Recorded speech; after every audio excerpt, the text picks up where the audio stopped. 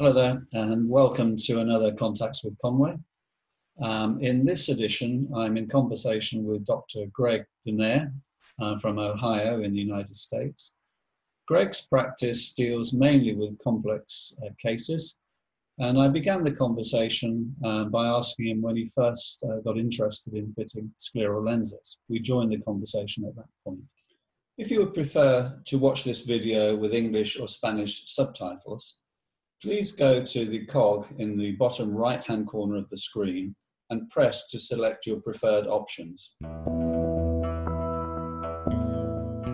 Well, I, I, work in an anterior ophthalmology practice, and currently we have three cornea specialists. But I I started back actually with my first scleral lens fitting back in 2001, and what had happened was I was using corneal GP lenses for patients who had keratoconus or corneal transplants, you know, some sort of irregularity. And I, I was also inexperienced at that time, but what I was finding is that I was just spending an inordinate amount of time trying to get these small, relatively small corneal GP lenses to center on the eye. Mm. I might go through four or five, six lenses and still may not even find success at that stage. And a colleague of mine at the Ohio State University College of Optometry actually recommended that I try what what I had hardly even ever heard of before was these scleral contact lenses. And of course, back in 2001, there was just very few practitioners, even around the world, that were right. utilizing these devices. And so I ordered a, a fitting set, a diagnostic set from C&H Contacts out of Texas. And that lens actually was the predecessor to the lens that you started with, which was the SoClear. And that lens, if I recall correctly, was about 13 and a half millimeters yeah. in diameter. So, but at the, t- in the t- at the time when I got the fitting set, it looked ginormous. Mm-hmm. And I'll still, I'll still always remember the time when I, when I first put a, a scleral lens on a patient's eye without any education on the fitting process at all when I put the lens on the eye, it's centered. And at that stage, I, I, I remember thinking this, you know, this is where I want to go because there's a, these lenses have a lot of potential for the patient population that I was trying to serve. Yeah, I remember. I, I when I, again with that product, I, I was sent on a um, um, sort of an exercise down in the Middle East, um, trial by fire, really. Um, uh, to demonstrate the fitting with very little experience behind me. I was launched into a, a, hospital in Jordan with probably 20 or 30 patients waiting for the first day. They had a team of nurses to assist and things like that, but I got more experience in those two days of fitting that we went through this hospital than I'd had in the preceding 18 months, I think. Um, but then, I mean, so that's mine was 10 or 12 years, but it's absolutely exploded since then. Um, so uh, you know we're all aware now. But of course, the big the big um, thing that you've been involved in is scleral shape. Um, you know the, what actually goes on beyond the the, the normal range of uh, the, the, the topographer. Well, I would you know been fitting scleral lenses for some years, uh, using diagnostic lenses like everybody else, and I I've I've I realized at some stage that there had to be more to the fitting process than these diagnostic lenses. I mean, in fact, when you really think about it, it's it, it's a bit uh, it, it, fitting with diagnostic lenses is certainly more art than science. Yeah.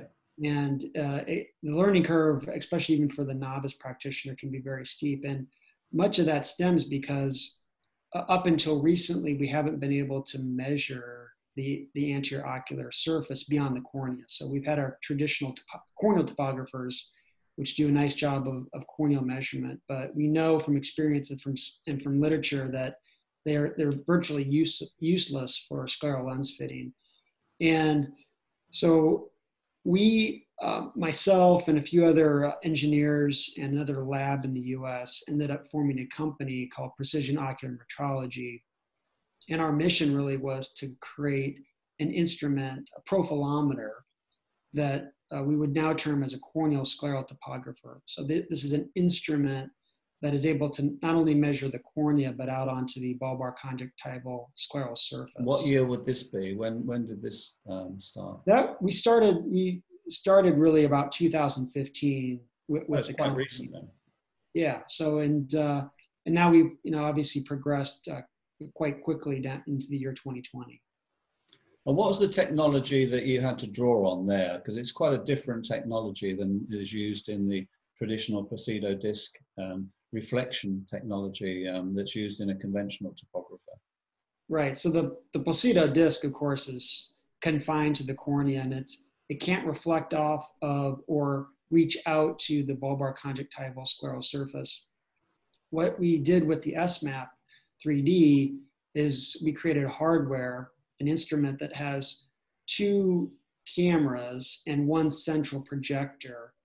And what that arrangement allows is for the instrument to take a series of triangulated measurements. And then it's able to use something that's actually not new. It's been used uh, for a while now. It's called structured light. Yeah, when I, when I first heard of this, it's really very much like uh, the sort of uh, uh, technology used in 3D printing, you know, um, scanning an image, isn't it? Well, in fact, what structured light is able to do for us is the software can create a three dimensional model of the ocular surface. And we can use that model to basically measure sagittal height of the eye anywhere on the eye we want. And we can use that both just for general measurement, but as we'll get into during the course of this conversation, is what's important for us is scleral lens design. So the as far as the practitioner is concerned, he uses the instrument. It looks a bit space age, a bit, but you know, um, um, compared with a conventional topographer, certainly more than a, a traditional, even more traditional keratometer. Um, he would actually instill fluorescein into the eye, which is different to what we, we, we have to do with a, with a topographer. And that's because the, um, the light used is uh, on the blue end of the spectrum. So you get some get some fluorescence is, uh, and it's done in almost complete darkness i take you, you tune the the, um, the the lights down in the test room to uh, as dark as you can i take it Well, it, it it's more helpful actually as you're taking the test to have the lights dim, but it, it actually doesn't require you necessarily to have complete right. dark. But you're you're correct in that the reason that we have to have the fluorescein is because of the way it measures the surface.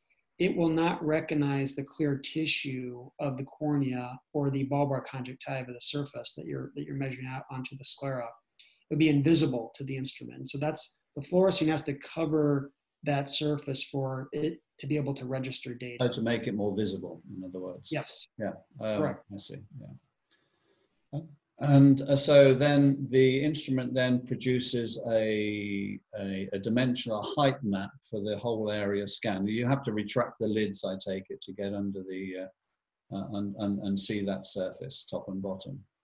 That's correct. And in, in fact, actually, with the SMAP 3D in particular, what we do, or what the practitioner will do when they do an examination, is they'll take three separate measurements. So there's the first measurement, which is the straight gaze, and the clinician, as and they usually actually have the help the patient help out a bit. They'll retract the eyelids as far as possible, and they'll take a straight gaze measurement. And then we also take two more measurements, one where the patient looks down, and then one another one where the patient is looking up. Right.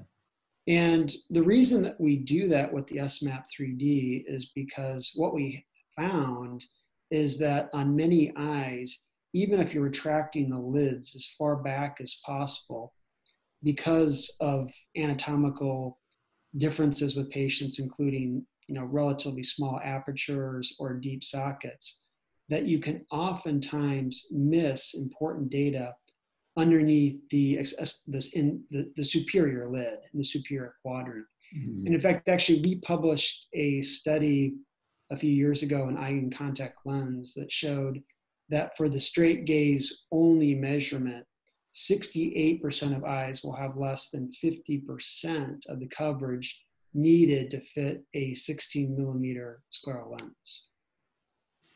So having had that data, then you upload that and turn it into a digital image of the eye. Um, how does that then help you with lens design? Can it will it translate directly, or uh, is is it then fed into a, um, um, a CNC lathe?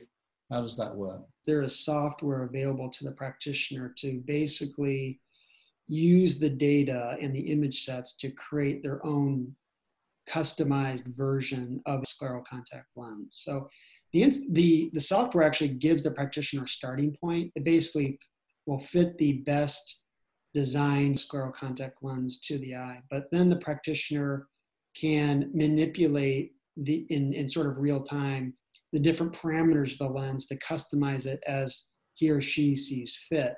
The other route, actually, which is more recent and new, is that they have the ability to do a completely free formed, customized lens that they call the latitude scleral lens. Yeah. Is it linked to specifically to one laboratory at the moment, or are you using other? Uh, can the practitioner use other lens designs as well? Well, currently, as far as the automative type of process that you might use to design a, a scleral lens, either the Europa or the latitude lens. That is linked directly to visionary optics. But a practitioner can own the SMAP 3D topographer and utilize the data to fit other types of lens design. So, you know, they, they can use the instrument to measure, for example, the amount of scleral toricity that might that might be apparent for the patient or irregularity of the sclera and that type of thing. And they can use that data when they're when they're fitting other types of designs.